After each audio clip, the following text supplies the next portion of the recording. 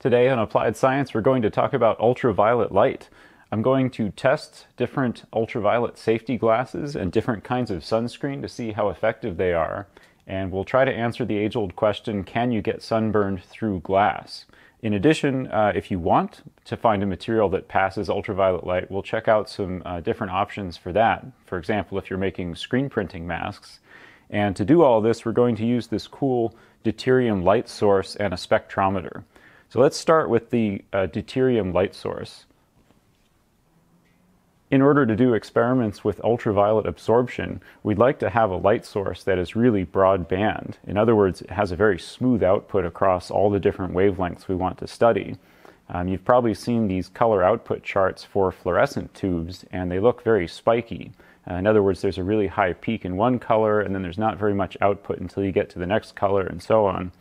But this is not helpful for us if we want to measure how much light a material is going to absorb, like, for example, safety glasses or sunscreen. So these deuterium light sources are specifically made to have nice, smooth, broadband output into very far into the ultraviolet spectrum. The deuterium lamp itself is actually built fairly similarly to an ordinary fluorescent tube. It has four leads, just like uh, having two pins on either side of a fluorescent tube, and it has a heater in there, that's for two of the leads. And the heater is just to make it easier to start the arc. It's a low pressure discharge lamp. And um, normally you could probably start the arc in other ways, but using a heater is pretty easy. So when you turn the power supply on, it warms up for about five or 10 seconds. And then when the power supply detects that the arc has struck, it turns the heater off. Very similar to a standard old fashioned fluorescent ballast. The reason to use deuterium in the first place is because it has this um, really smooth broadband output in UV, and the reason is pretty interesting. Uh, for the most part, the emission is similar to hydrogen, as you'd expect, but hydrogen is easier to ionize than deuterium is, which means that more of the energy that you put into it is going to go into the emission lines that are characteristic of hydrogen. But as I said earlier, we don't want these emission lines. What we want is a nice broadband output. So with deuterium, more of the energy that you put into it comes out as this uh, very uh, continuous molecular emission spectra, which is like a complicated way of saying it, but you, you can change the energy state of a molecule and it can output at any sort of energy level it wants. It doesn't have to be a specific atomic emission. I'll put a link to Wikipedia if you want to hear more about this. Okay, so we've got our deuterium lamp fired up and um, running stably. It even has this little baffled light cover here. And the output is on this side. There's a couple of lenses to uh, collimate the beam somewhat. And we're shining it into the end of a quartz fiber. And the quartz fiber runs over there in this blue jacket into the spectrometer, and then we'll read it out on the computer screen. And the idea here is that we can put things between the light source and the input to the spectrometer and then check to see how the output changes. Okay, let's start with a baseline reading with nothing between the fiber and the light source. So you can see here that the live trace is in black. So if I put my hand here, you can see the black trace goes away. And you can see the reference colors here just to get an idea of how far into the UV we're going. So 400 is typically the bluest light that you can sort of see. And then we're going all the way to 200 nanometers with this uh, deuterium light source.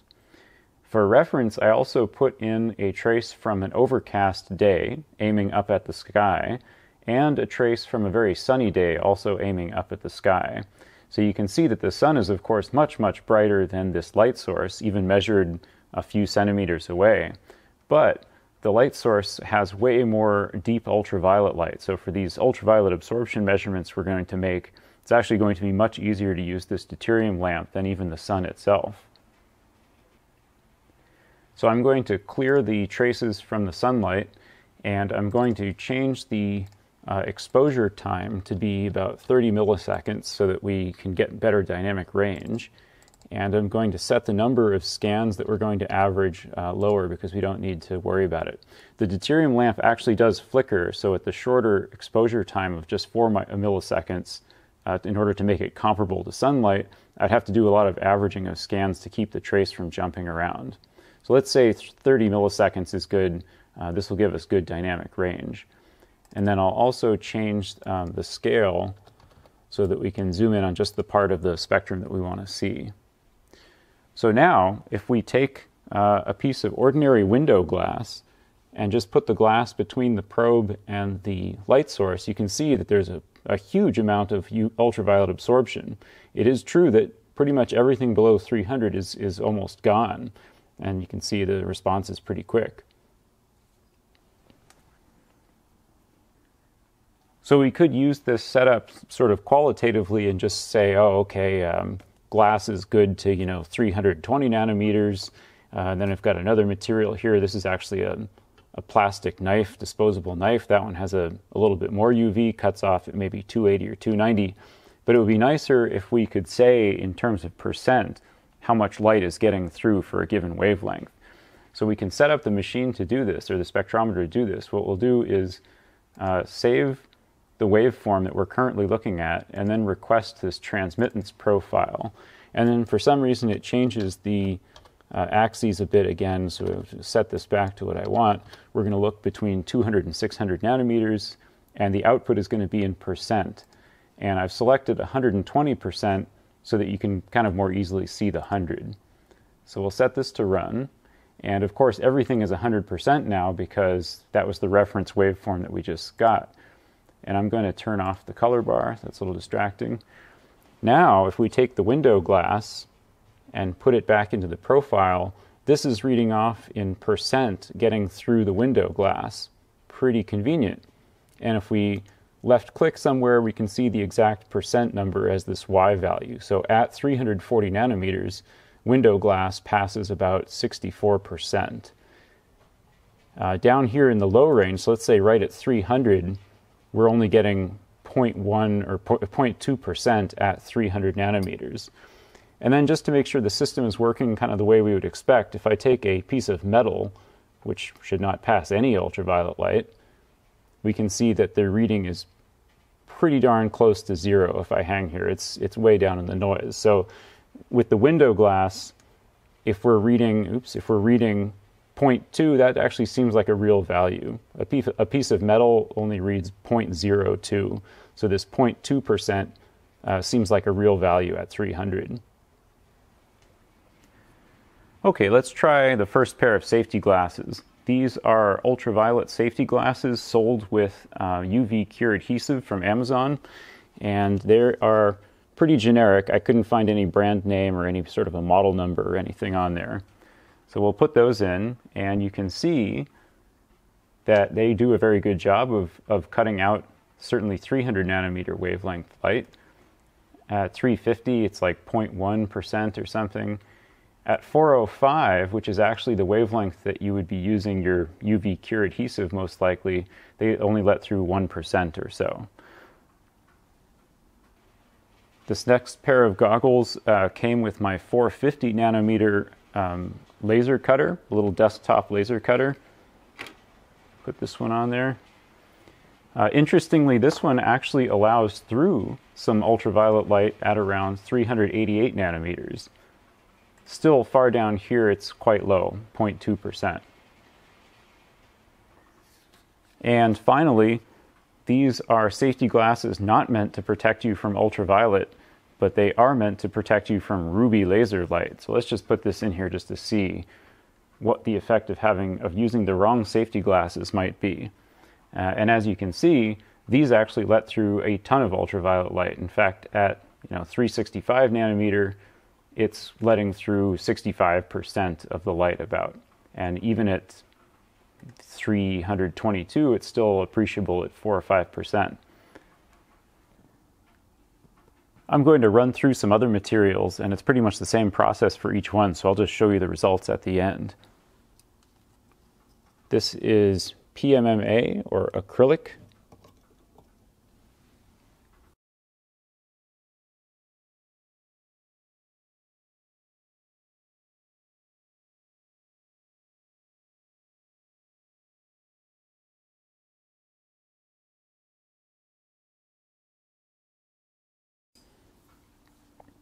And now let's try some unusual materials. Uh, these are made to block ultraviolet light from getting into a photopolymer tank.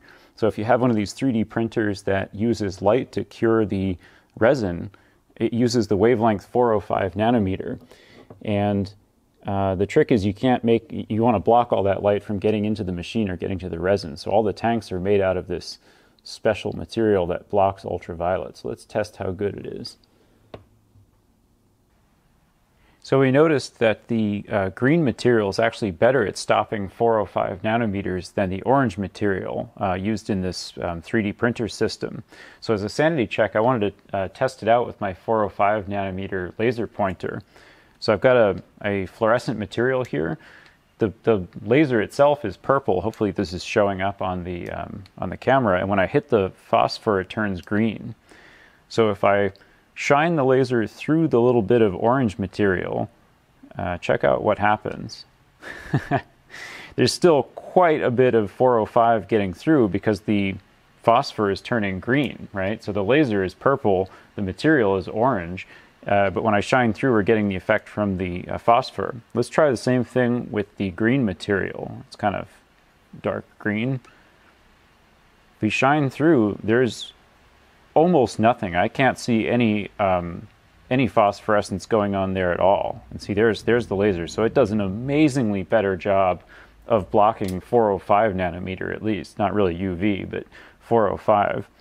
Um, just something to keep in mind if you're ever designing uh, a system where you want to keep 405 nanometer out. Uh, choose the green material. And finally, I'm going to test this vellum, which I used in the uh, screen printing video. The challenge here is that the vellum is uh, not transparent. So all the materials that we've tested so far are clear, and when I put them this far away from the fiber, the light basically just passes straight through. And uh, the fact that the it doesn't change the direction of the light, it just absorbs it. The problem with this vellum is that it is um, diffusive, and it, this will interfere majorly with the absorption measurement. So if we put this here, instead of all the light going straight into the fiber, it, it comes in at different angles and would change the reading. So this one is definitely not going to be, um, the intensity is not going to be correct. But note there's something very interesting going on. We're actually getting more, uh, more light passing from less than 300 nanometers than we are from any of the other materials that we tested so far. It has the smoothest transmission even though it's lower across all the wavelengths. And finally, let's test a piece of fused quartz. So it looks like glass, but it is in fact fused quartz. Let's put this in here. And it is amazingly good. It's actually very close to 100%, all the way down to 250 nanometers. Um, this is why we used fused quartz to uh, move ultraviolet light. Okay, let's try something here. Now I'm going to take this uh, window of fused quartz and spray some of this SPF 100 sunscreen on it. And this is hardly scientific, of course, but I just sprayed some on there and kind of rubbed it around a bit. Now there's one component of the sunscreen is uh, quickly evaporating and the rest of it will stay on the surface of this as a film.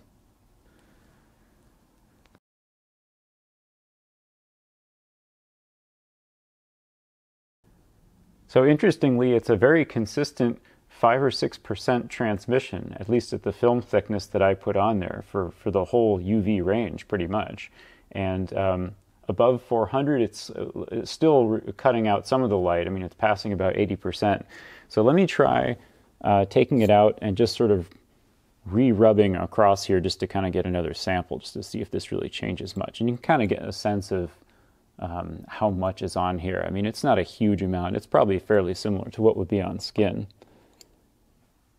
Okay, so that's interesting. So we're getting about 2% transmission now in this uh, region of, you know, 300 and something nanometers. 2%, let's say. Okay, let me clean this off and we'll try it with the other sunscreen. And this time I'm going to use uh, 50 SPF and this one is not a spray, so it's going to be even tougher to uh, to get kind of a reasonable sort of film. But you know, is not really a scientific test.